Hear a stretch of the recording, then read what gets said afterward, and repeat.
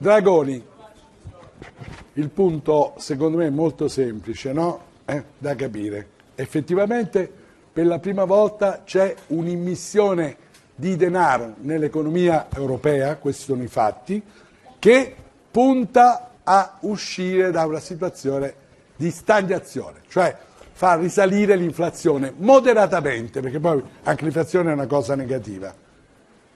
Probabilmente vera, il, pro, il problema è che comunque, come faceva notare Landini, il debito è ancora garantito dalle banche nazionali. Tu ci spiegherai che cosa. Raccontaci in maniera un po' più fredda questa vicenda, perché secondo me è estremamente importante per capire quello che sta succedendo e probabilmente la, eh, la visione che ho io è questa, cioè che sul breve l'operazione di Draghi ha questo valore, questo significato ed è storica perché la Merkel prima non l'avrebbe mai accettata e effettivamente questo è un fatto. Alla lunga non è detto che sia un'operazione che riesca, però è, in questo momento è una delle poche giocate diciamo, di classe, di un fuoriclasse sulla scena europea. Sentiamo. Mario Draghi sarebbe il candidato a Presidente della Repubblica che potrebbe mettere d'accordo un ampio schieramento da Scalfari fino a Berlusconi e gode anche di prestigio internazionale. Ma Draghi non è disponibile, non voglio essere un politico, ha detto, e è importante il mestiere che faccio, cioè vuole eh, rimanere alla BCE a completare il suo mandato di Presidente fino a ottobre del 2019. Al vertice della Banca Europea eh, Draghi ha una posizione strategica, come mostrano anche le importanti decisioni storiche che sono state prese oggi.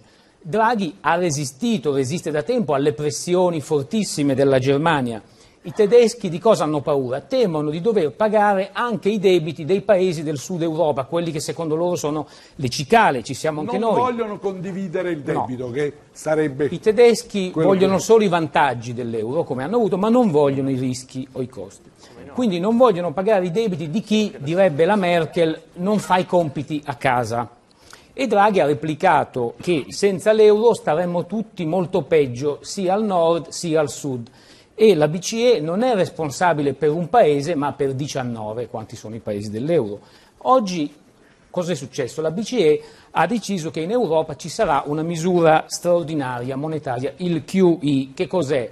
Non è il quoziente di intelligenza ma il quantitative easing. Significa un alleggerimento, un allentamento quantitativo.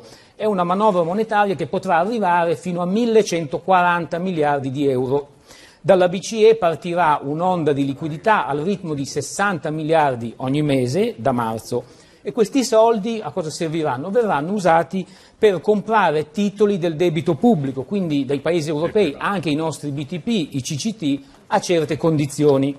Qual è la conseguenza? Ci saranno più soldi in circolazione e questo dovrebbe favorire eh, gli investimenti e l'occupazione e consentire ai paesi, soprattutto quelli più in difficoltà, di gestire meglio il loro debito pubblico. Perché? Perché i tassi di interesse sono destinati a scendere, quindi pagheremo meno interessi.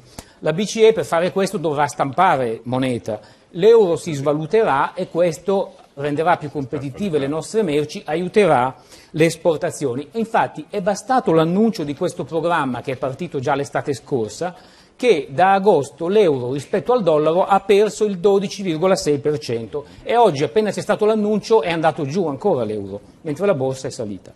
La Bundesbank era contraria fino all'ultimo perché il timore è che questa alluvione, inondazione di liquidità tolga la pressione ai paesi più fragili a fare le riforme.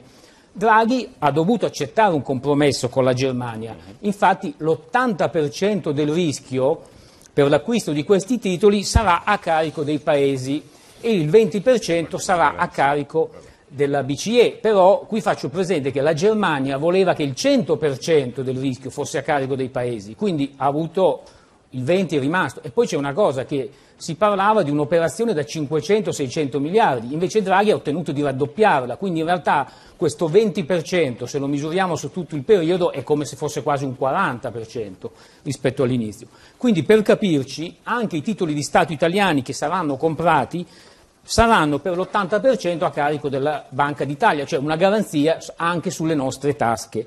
Funzionerà negli Stati Uniti ha funzionato questa manovra perché in sei anni sono stati spesi però 4.500 miliardi di dollari, quindi una somma molto più alta. Il PIL è ripartito e la disoccupazione è diminuita. Non è detto che in Europa accada altrettanto, dipenderà anche dalle banche e tante altre cose, ma se non funzionerà, tra 19 mesi, come hai detto tu Michele, ci troveremmo con un debito ancora più alto. Questo è il rischio. Questo è il rischio. Questo è il rischio. In Germania sarebbero molto contenti se Draghi andasse via dalla BCE e proprio per questo per l'Europa e per l'Italia è un bene che rimanga lì. Il compito del presidente uscente napolitano è stato quello di garantire insieme a Draghi il rispetto degli impegni presi dall'Italia e ora chi garantirà?